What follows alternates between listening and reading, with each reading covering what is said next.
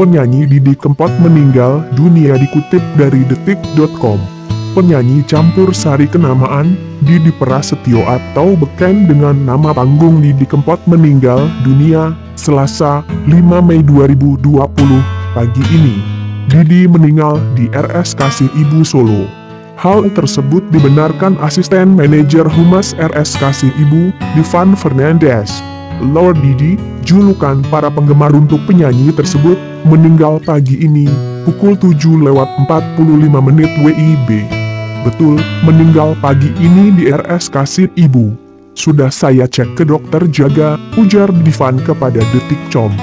Menurutnya, Didi masuk rumah sakit baru pagi ini. Namun dia belum mengetahui secara pasti penyebab meninggalnya Didi Kempot. Infonya pukul 7 lewat 30 menit WIB tadi baru masuk. Penyebabnya masih saya cek dulu, katanya. Pelantun lagu-lagu campur sari kenamaan tersebut meninggal pada usia 53 tahun. Tentang rencana pemakaman Didi Kempot masih belum diketahui.